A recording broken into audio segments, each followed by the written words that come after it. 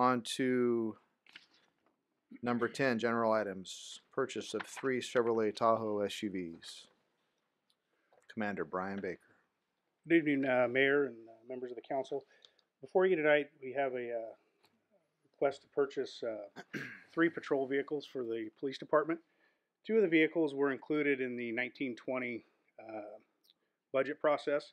One of those is a new K-9 vehicle for the K-9 position that was uh, approved by the council, and one was a replacement uh, for uh, an older vehicle that was we actually were able to repurpose to one of our school resource officers. The third vehicle we're looking to replace, uh, that vehicle was totaled out as a result of a collision in November of 2018. The finance department was able to diligently uh, pursue the other insured and got the maximum uh, limits of their policy, which was $25,000 to aid in replacement of that vehicle. as uh, time goes on, everything that we purchase as uh, individuals and as the city uh, seems to go up at a, at a rapid rate. And so this year, there was $136,000 allocated to replace the, or for the new K9 car and to replace uh, the car we repurposed. However, um, some of that equipment had to stay, and there was uh, some funds that weren't included, and so we need also a supplemental budget appropriation to replace uh, that car that was repurposed. For the replacement of the vehicle that was totaled, uh, there wasn't enough money in the vehicle replacement fund for that specific unit. And so, with uh, moving some things around from some other vehicles uh, that, that, don't need to be replaced at this immediate time, we were able to uh, find the necessary funds. So, there's a in the staff report I included a, a little bit of a cost breakdown for vehicle. Um, the replacement for uh, the totaled vehicle is about $56,000. Uh, the replacement for the repurposed vehicle is about $77,000 and a new K9 car is about $73,000. To compound matters in this issue, uh, we were notified by Chevrolet um, that the 2021 vehicles are going to be redesigned. And so as a result of that, the plant's shutting down and they're not taking any further orders uh, for the 2020 vehicles after the end of September, first part of October, or if they meet their uh, quota for the 2020s. So it is the uh, request of staff that we uh, do things a little bit different. Um, in recommendation A, uh, to use the formal bid process to hopefully get that opened up with council's approval in the next couple days.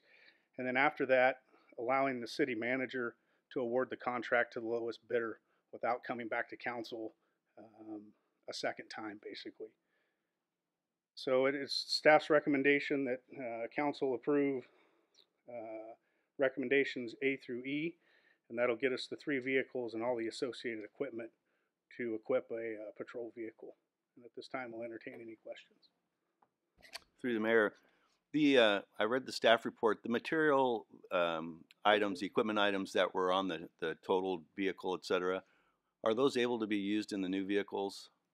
And if not, is there a market for them so we get some value, or do they just get tossed? We we did. We were able to reuse um, the uh, the radio which saves us about $4,100, and the computer, which saves us about $9,500. The reason uh, we can't reuse everything because uh, it's going from the Ford to the Chevy. So, uh, like the light bar is reusable as well, so we save a little bit of equipment there. But as far as like the cage, uh, back seats, all that has to be a new uh, equipment because it's a completely new vehicle excellent that you can reuse. Is there a market to sell it to some other agency, the other stuff at all, or do you just?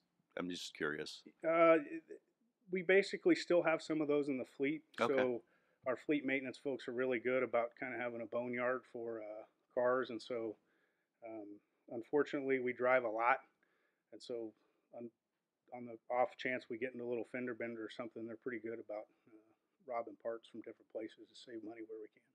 Thank you through the mayor. Uh, Commander, one thing you said uh, going forward, they're doing a total redesign for the 2021. Yes, that's what we've been told. Okay, and I know that going back in history here, we changed from the Ford to the Tahoe, and we've re-engineered things there. Do we know how that's going to affect us long term? Is it basically cosmetics of how they're redesigning it, or are we looking at being in an issue to where we're going to have incompatible parts in three or four years? I, I do not have that answer because they haven't com- they haven't released what they're going to look like that we've seen. Uh, typically, they they try and change. Usually, in our, my experience, they change the exterior, but a lot of the interior, the expensive stuff, kind of stays the same uh, for a longer period of time than the external stuff. So we might have to redesign graphics a little bit just based upon fenders or different shapes, so they won't fit in a particular spot.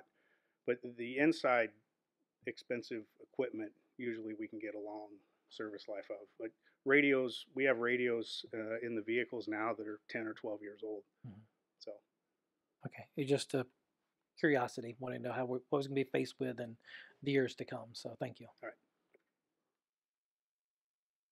All right. With nothing more, we can uh, have a motion. I motion. I'm sorry. Let me. Um, Fine. forgive me. Would anyone in the public care to speak on this item? Okay, now go. Okay, thank you. Uh, I make the motion uh, to accept the recommendations of A, B, C, D, and E. A motion and a second to approve staff's recommendation. All those in favor? Aye. Aye. And opposed? None. Thank you very much, Brian. thank you.